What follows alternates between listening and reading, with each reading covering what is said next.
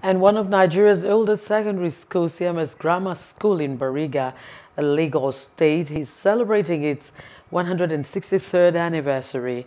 And to commemorate the day, the Old Grammarian Society, OGS, held a series of activities, one of which was the launch of the solarization of its perimeter fencing.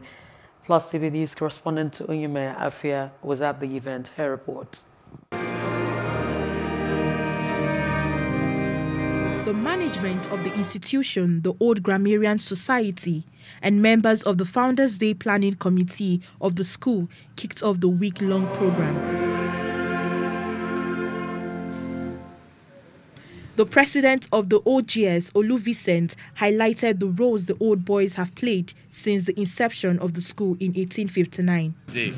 What we have witnessed this morning, we have had the commissioning of an ultra-modern kitchen constructed by the 1982 set. Then we have the, behind me I have the beautification of a garden done by the 1994 set. Then we have the first phase of the 40 kVA power. OGS UK and America will be commissioning, we're embarking on the, the supply of power using solar for the entire school. So the school will be on solar panel independent of the PXC and the rest of them. They've done the first phase, 10 kVA, which we've done this morning. Then we've had the ICT building, which is in focus, which is being undertaken by OGS Americas. The ICT building is to ensure that we develop the capacity of our students that not just in terms of ICT knowledge, ability to have their hands on touch, on, to be able to repair handsets, repair cell phone and the rest of them, and be able to do professional exams, even while our students in the school. So at the end of the day, by the time they're leaving the grammar school, they are equipped for the challenges of the future. They can, on their own, with the education they get in the school, be anywhere they want to be in the world. The Anglican Bishop of Badagry, Babatunde Adeyemi, who was a guest at the event, stressed the need to pay more attention to children and youth as they are the leaders of tomorrow. Because of the situation around us, need to pay attention to the children uh, we have dedicated various projects. But um, the foremost project, most important project are the children. And when they are properly groomed, we have leaders taking over from us tomorrow. So we should pay more attention to our children. Chairman Board of Directors Professor Afolabi said that the foundation led by the school made him into whatever he is today. Today, foundation was laid in the primary and the secondary school I went to, like CMS Grammar School. The friends I have today are the friends I made when I was in, in school.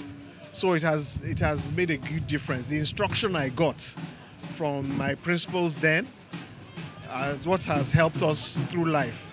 So we cannot uh, underestimate the value of the education we got from CMS Grammar School. So I appreciate it and I give God the glory for 163 years of, of uh, education in Nigeria. Chairman Planning Committee Dr. Dikbo Arigbede said that they have decided to take it upon themselves to improve on and contribute to the well-being of the school and of the children at large.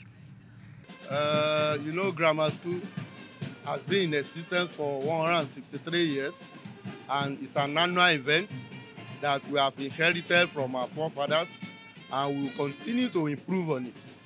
Uh, highlight or part of what we have done this year is a lecture that was done a week ago during the press conference uh, with the outgoing Vice Chancellor of University of Lagos, Professor Ogundipe was the guest speaker. We had the career talk and we also had the prize giving day on Friday. And this is a hallmark of everything today, which is the Thanksgiving and luncheon, uh, today's luncheon. And uh, as I said, it's an annual event. We'll continue to do it and improve on it every time. The high point of the event was the presentation of prizes to some of the outstanding students and teachers. Uyime Afia, Plus TV News.